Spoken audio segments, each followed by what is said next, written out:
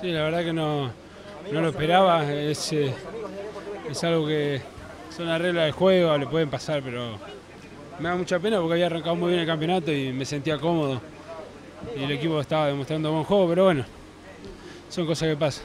Sí, porque creo que estaba en un momento bueno de mi carrera, ya más mucho más maduro.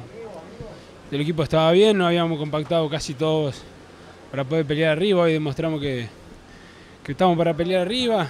Bueno, la verdad que muy triste por lo que me pasó. No, yo pensé que era larga, pero después nada, estaba dos metros míos, son jugadas solas, justo la otra vez hablaba con el doctor y cuando se te corta el tendón es, sentís un golpe como una piedra y lo que era lo que había sentido, así que, así que nada, muy triste y bueno, nada, ahora queda esperar el lunes operarme para ver, recuperarme lo antes posible. Sí, sí, el entrenador me lo dijo lo que pensaba y el equipo también, así que nada, bueno, son situaciones complicadas, difíciles, pero bueno, ojalá que lo, lo pueda superar y volver de la mejor manera.